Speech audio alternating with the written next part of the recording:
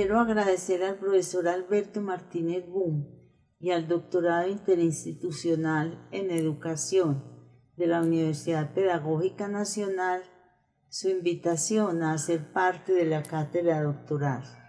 He preparado para esta lección una reflexión conceptual en la que trabajo saberes, paradigmas y campos conceptuales. Espero contribuir a lograr diferenciar y relacionar pedagogía didáctica y saber pedagógico, esbozar los paradigmas por donde circulan estos conceptos y de qué manera actúan los campos conceptuales en las tareas de reconceptualización y en las experiencias tanto de la formación como del ejercicio de los maestros. Espero contribuir en algo al esfuerzo de una cátedra que busca pensar la pedagogía y la epistemología. Entendemos por cultura pedagógica la constitución de saberes, donde se despliegan tradiciones de pensamiento y prácticas en las cuales se forman los saberes. Se generan objetos y dispositivos pedagógicos producidos a propósito de la enseñanza, la formación, la instrucción, el aprendizaje y la educación. Los universos temáticos constituyen los modos de expresión más palpable del proceso, conformación y despliegue de las culturas. Hacen parte de una cultura pedagógica, procesos de saber, poder y subjetivación, en los cuales interactúan instituciones, sujetos y discursos. La cultura pedagógica abarca la educación formal, la no formal y la informal, pero cada una de diferente modo. El saber. El saber es el espacio más amplio y abierto de un conocimiento, donde se localizan, se forman y se modifican discursos de muy diferentes niveles, desde los que apenas empiezan a tener objetos de discurso y prácticas para diferenciarse de otros discursos y especificarse, hasta aquellos que logran una sistematicidad que todavía no obedece a criterios formales. Además, en un saber, el sujeto puede tomar posición para hablar de los objetos de que trata en su discurso. Un saber se define por posibilidad de utilización y de apropiación ofrecidas por el discurso. Entendemos por discurso el conjunto de enunciados que desde sus inicios dependen de una red variable de conceptos y prácticas interrelacionadas, es decir, el discurso es un conjunto de enunciados en tanto dependen de una misma formación discursiva. No existe saber sin una práctica discursiva definida y toda práctica discursiva puede definirse por el saber que forma. Accedemos a la cultura pedagógica a través de la memoria activa del saber pedagógico presente en las fuentes primarias que constituyen el archivo pedagógico colombiano, incluyendo los procesos de apropiación de los saberes producidos en otras culturas y tradiciones, anglosajona, francófona y germana, entre otros. En el interior del saber podemos localizar nociones aplicadas, construcción de nociones, registros de observación, explicaciones, narraciones, descripciones, normas y datos susceptibles de reescribir a la luz de nuestro presente.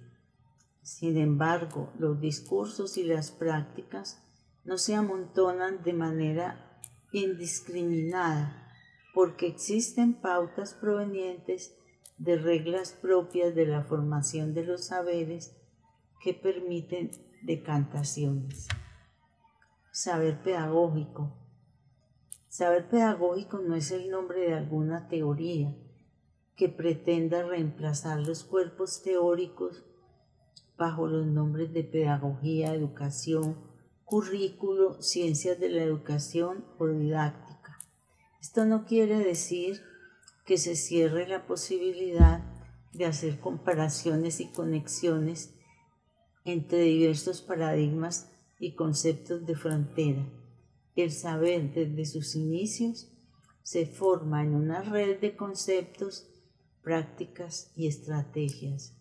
En calidad de concepto metodológico, el perfil del saber pedagógico está delimitado por sus funciones en el análisis, su materialidad y sus componentes. Además tiene usos en la práctica pedagógica, donde permite ligar conceptos, tradiciones, percepciones, normas, opiniones, todos ellos a propósito de la escuela, el maestro, la enseñanza, la instrucción y la formación del hombre, siendo el saber el espacio más amplio y abierto de un conocimiento, los discursos producidos no son estrictamente científicos, por lo tanto no tienen un objeto único alrededor del cual se construyen proposiciones. En el discurso de los saberes encontramos pluralidad de objetos y heterogeneidad de conceptos. Se trata entonces de dispersiones que se localizan en registros muy diversos. El saber pedagógico reúne discursos menores y discursos con mayor grado de sistematicidad referentes a la educación, la enseñanza, la instrucción, la formación, entre otros, cristalizados en paradigmas y campos conceptuales, la didáctica, la pedagogía, las ciencias de la educación, el currículo y la enseñanza de las ciencias.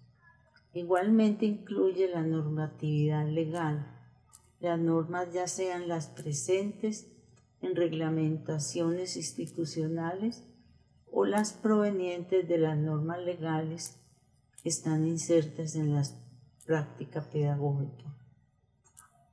Los discursos, ya sean propositivos o críticos o de resistencia, así como las estrategias desplegadas en torno a ellos o contra ellos hacen parte del saber pedagógico.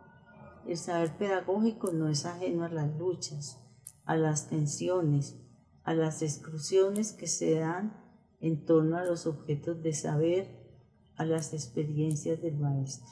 En el saber pedagógico, sus producciones, crisis y movimientos provienen de la práctica social y la cultura pedagógica que rodea la enseñanza y otros objetos mencionados, ya sea en la escuela o fuera de ella.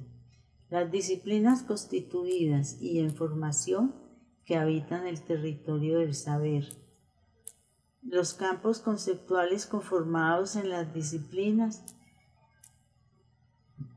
o en los paradigmas las disciplinas vecinas que intervienen en el aula de expresión y producción de saber pedagógico.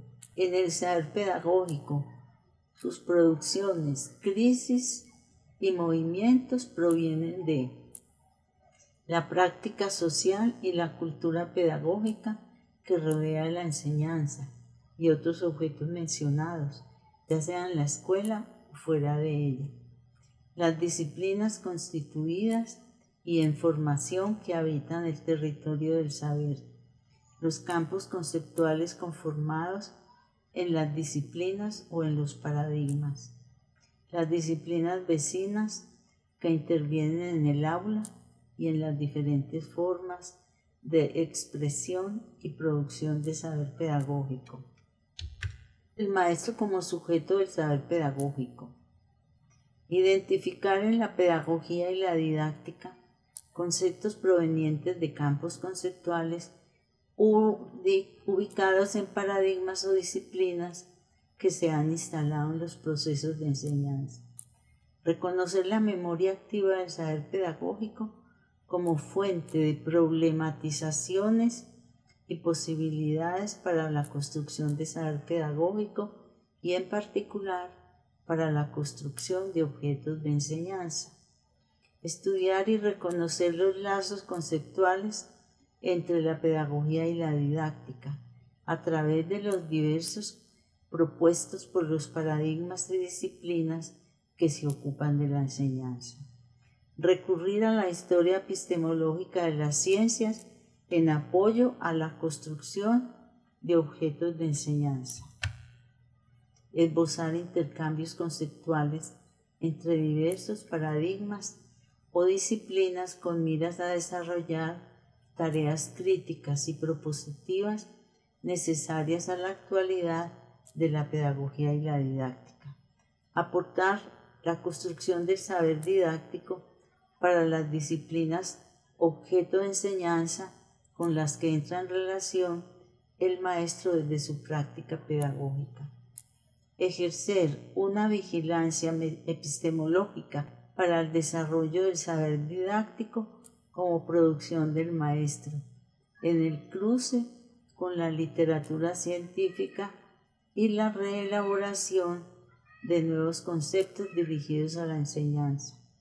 Elaborar una crítica a las concepciones didácticas que borrando la memoria activa del saber pedagógico han reducido la didáctica a meras operaciones. Las tareas anteriores desarrollan el ideal planteado por Herbert. El maestro debe saber tanto de pedagogía como de la ciencia que enseña.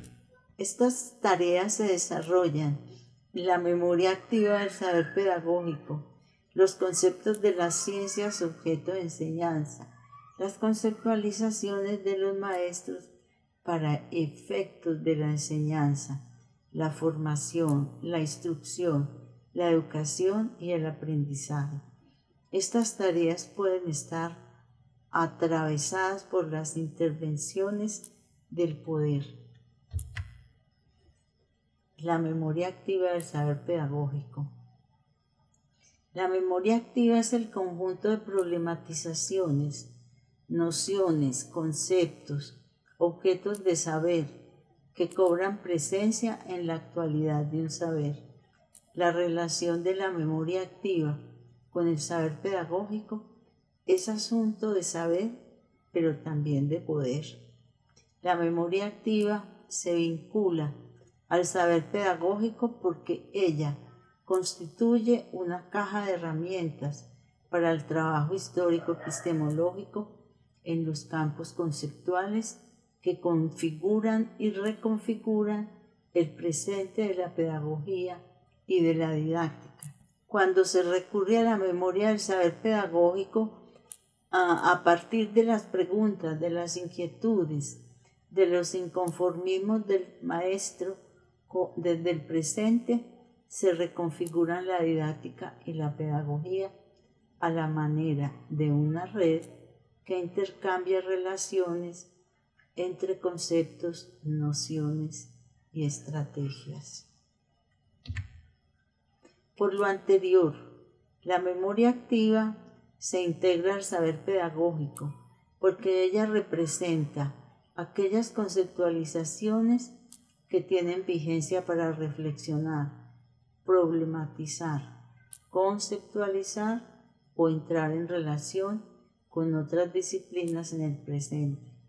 Al estar inmerso en la cultura pedagógica, el saber recibe y vive las tensiones, los forcejeos, las exclusiones, las apropiaciones que constituyen la cultura. Por estas características, la memoria activa no escapa a determinaciones de la cultura pedagógica y su reconocimiento por la intelectualidad y las decisiones institucionales tiene mucho que ver con las decisiones del poder. Práctica pedagógica y saber pedagógico.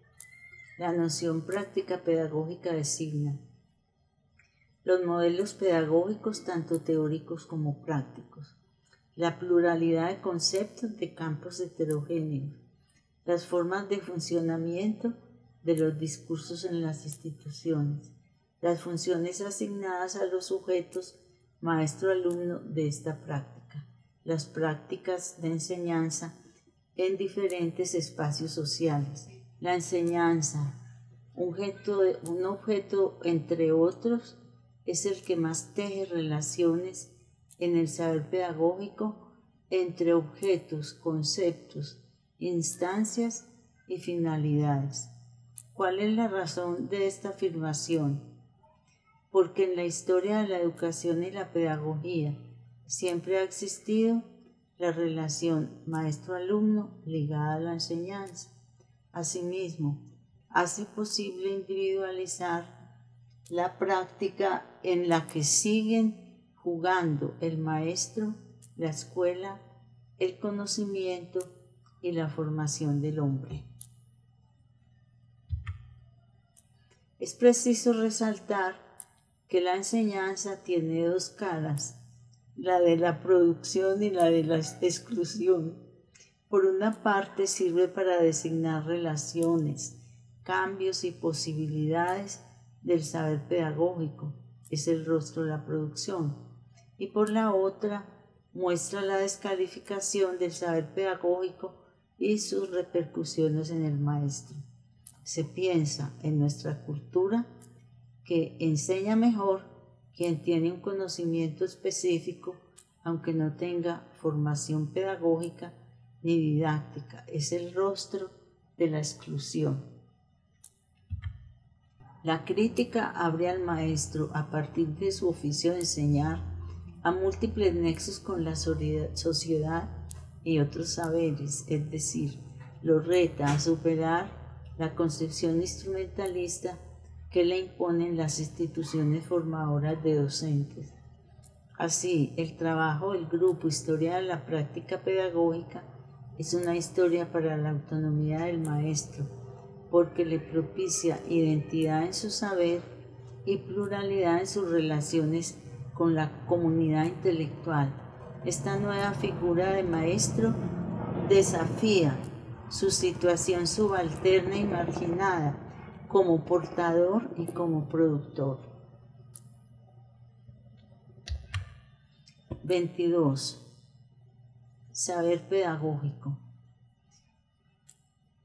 Eh, recoge como concepto metodológico pedagogía, currículo, ciencias de la educación, didáctica.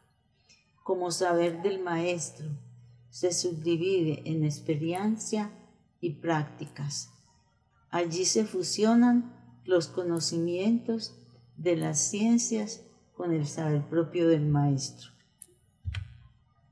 Saber y sujeto en minoría antes de saber en qué medida un discurso es algo análogo a una práctica científica en su funcionamiento cotidiano, en sus reglas de construcción, en los conceptos utilizados y antes de formular la cuestión de analogía formal y estructural de un discurso científico, no sería necesario interrogarse sobre la ambición de poder que comporta la pretensión de ser una ciencia. Las preguntas a hacer serían entonces muy diferentes. Por ejemplo, ¿qué tipo de saber queréis descalificar cuando preguntáis si es una ciencia? ¿Qué, qué sujetos hablantes, pensantes, qué sujetos de experiencia y de saber queréis reducir a un estatuto de minoría cuando decís, yo que hago este discurso, hago un discurso científico y soy un científico? Esta es una pregunta genealógica de Foucault.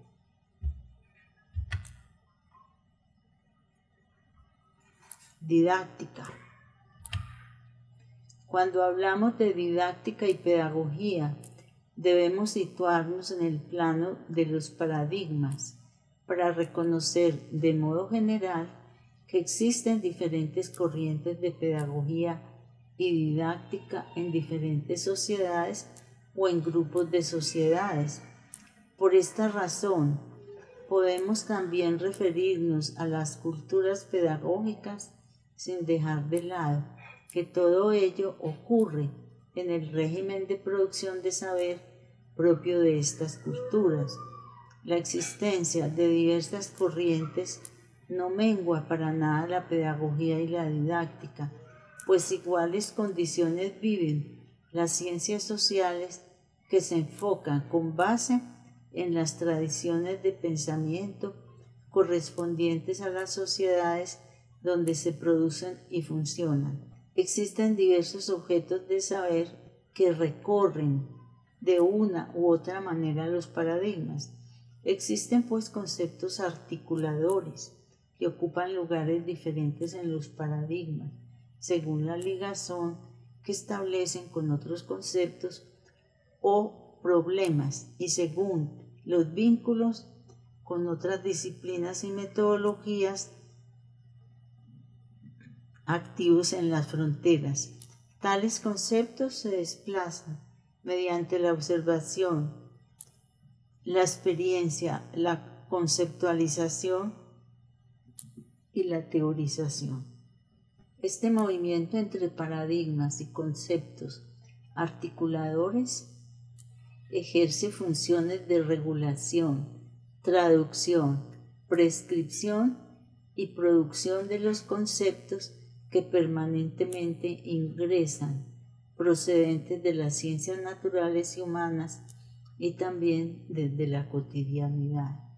Entre los conceptos articuladores podemos mencionar la enseñanza, la instrucción, el aprendizaje, la formación, la educación y alrededor de estos el maestro, el alumno, la escuela, el aula, la clase. Construyendo objetos de enseñanza. La incorporación a los campos conceptuales de la pedagogía y desde la didáctica se logra mediante un compromiso escritural que da lugar a conceptualizaciones, problemas de investigación, observaciones, narraciones de experiencias e investigaciones, tareas que fortalecen los campos. Este movimiento que va desde los objetos de conocimiento de las ciencias hasta la construcción de objetos de enseñanza también permite la reflexión pedagógica sobre las relaciones de la enseñanza con los otros conceptos articuladores que constituyen los campos conceptuales de las disciplinas fundamentadoras del hacer del maestro.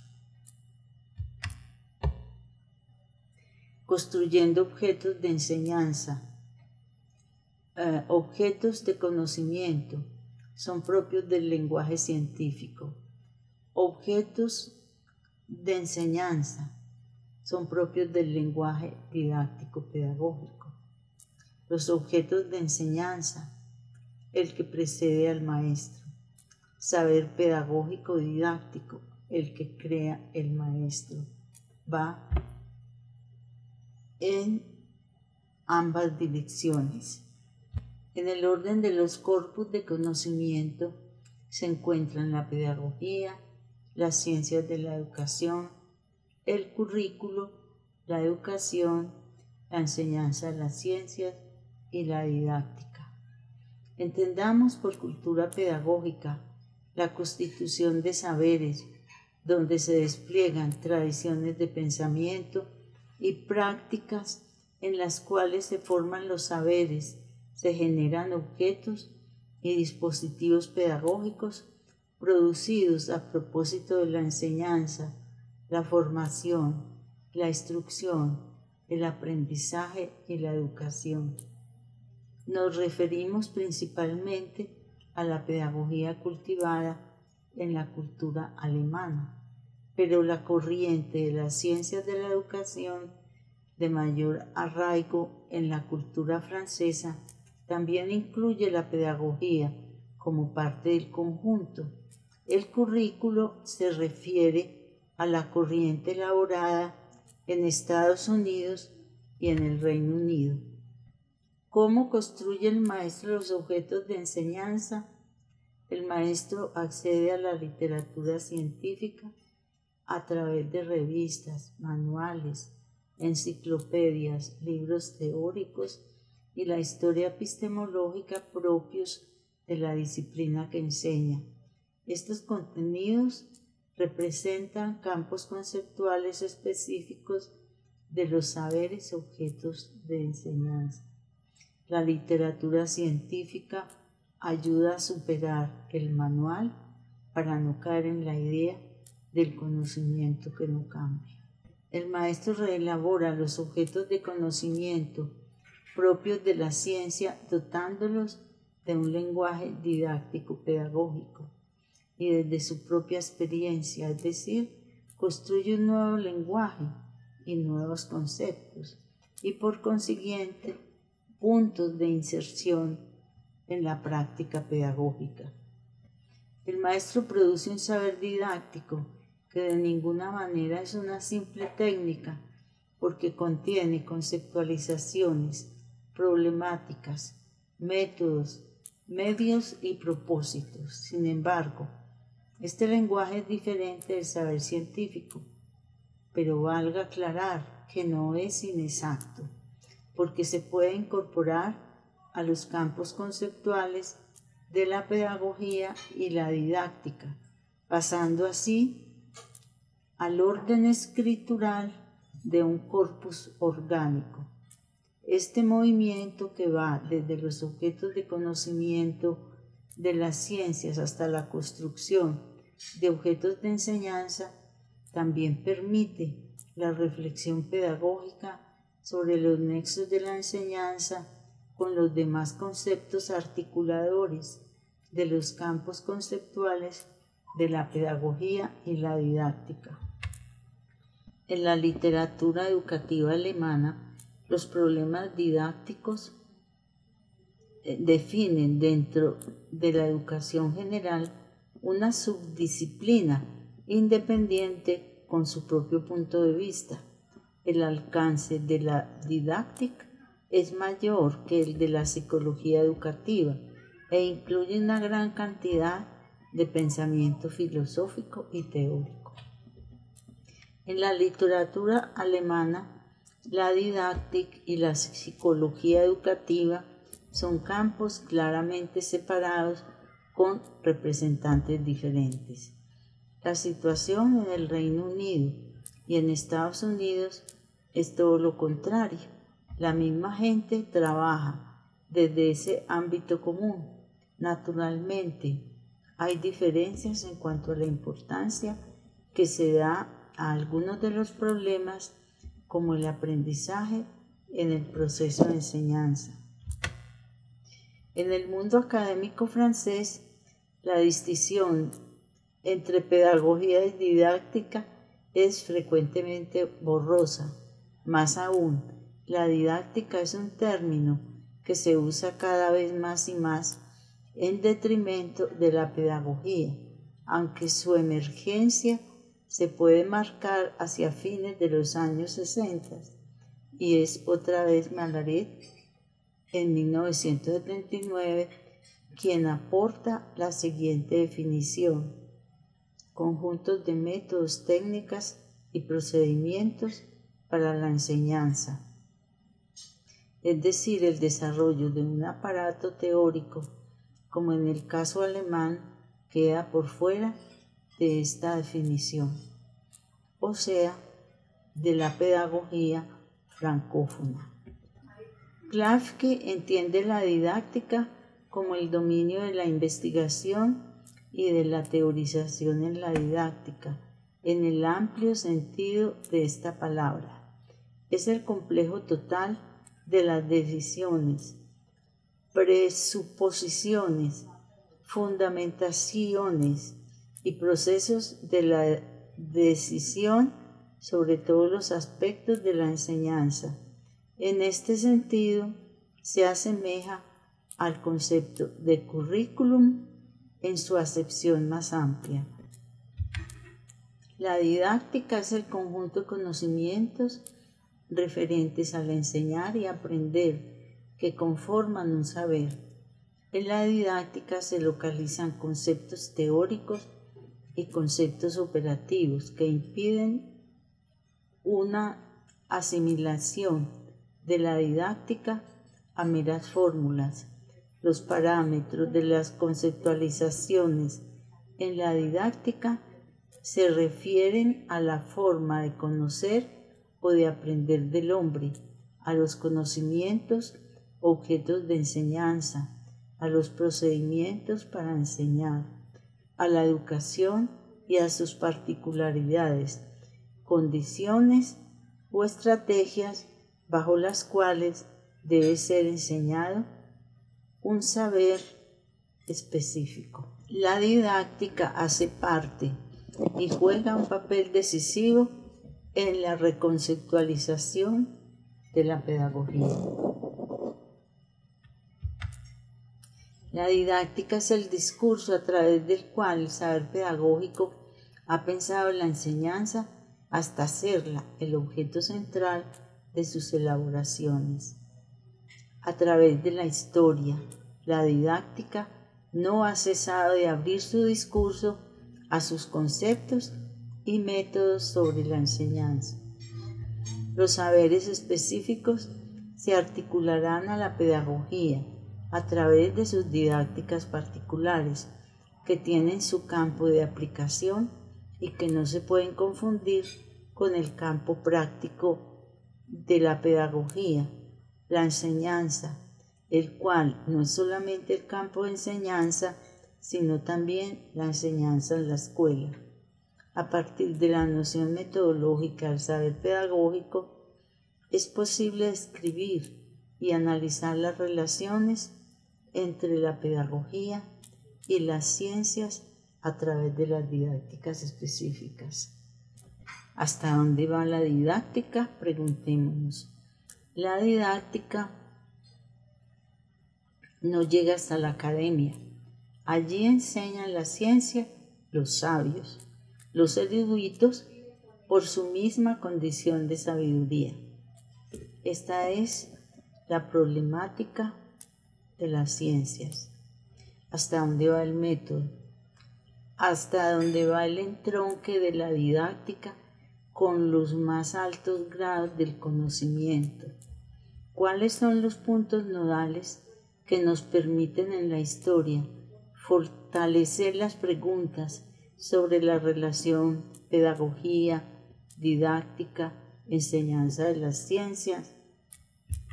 Comenio plantea o hizo lo siguiente, abrió todo el espacio de reflexión de un saber sobre la enseñanza, la transformación que inaugura una nueva forma de discursividad en el saber pedagógico es aquella que desplaza la enseñanza del libro de los clásicos a la naturaleza y del autor al método, lo que quiere decir el método ya no será para aprender a través del filtro de un autor. La importancia del método para la didáctica radica en su papel de intermediario entre la enseñanza de las ciencias y la dirección filosófica, por la cual optan para ser enseñadas. En cambio, Pestalozzi dio un carácter experimental a la enseñanza y desarrolló profundamente el concepto de educación. Así él afirma, busqué largo tiempo un principio psicológico común a todos esos procedimientos de la enseñanza, convencido de que era el único medio para descubrir la forma de perfeccionamiento asignada al hombre como su propia naturaleza. Herbert, ya lo hemos visto más atrás, valga traer a cuento para comparar. Herbert eh, plantea que la pedagogía general comprende el gobierno, la instrucción y la disciplina. y afirma, el maestro debe saber tanto de pedagogía como de la ciencia que enseña.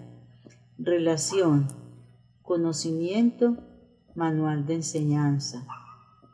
Cuando sistematizó la pedagogía, incluyó en ella la didáctica.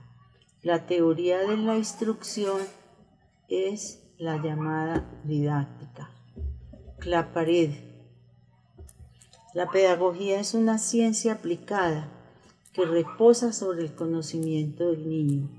Se propone que la pedagogía llegue a ser experimental, teniendo como centro la enseñanza.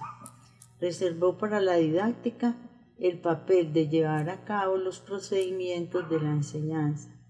Entre los problemas psicotécnicos existe una categoría que desde el punto de vista de la práctica conciernen a los procedimientos de enseñanza y que se han agrupado bajo el nombre de didáctica.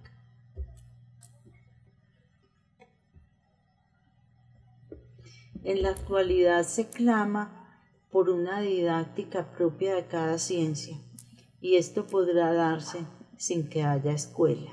No se necesita que medie el entorno de la escuela para que la didáctica propia de cada ciencia tome su rumbo y se desarrolle. En el conjunto de las posibilidades teóricas de la pedagogía en la actualidad, es muy difícil pensar una pedagogía compacta que recoja toda la herencia que trazó la didáctica magna y la otra herencia que después fueron trazando otros pedagogos. Siempre que podemos encontrar en esta formulación de Comenio la siguiente pregunta. ¿Hasta dónde va la didáctica? ¿Hasta dónde va el método?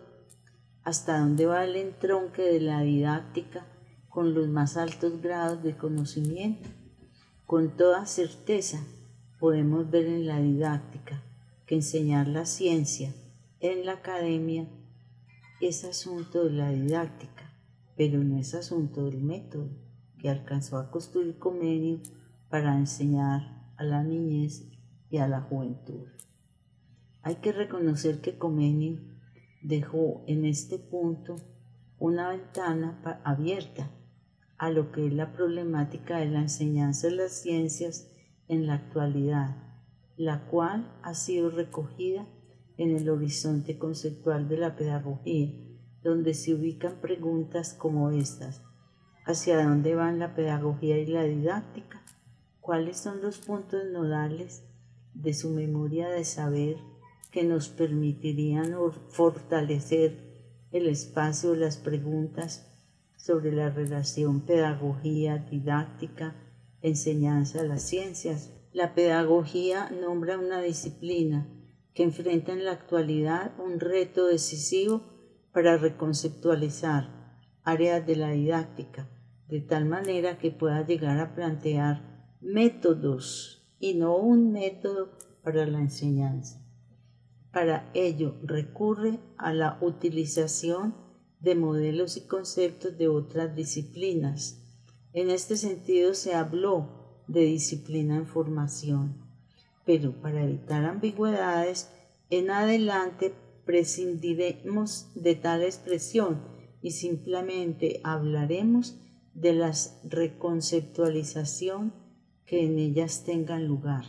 Aunque el soporte de la pedagogía como saber concreto es el método, este no debe pensarse como un simple procedimiento, pues está sustentado y las fuentes de la pedagogía dan cuenta de ello por una trama de nociones que se refieren a la formación del hombre, al conocimiento, al lenguaje, a la selección del saber, a la escuela y su función social, a la concepción del maestro.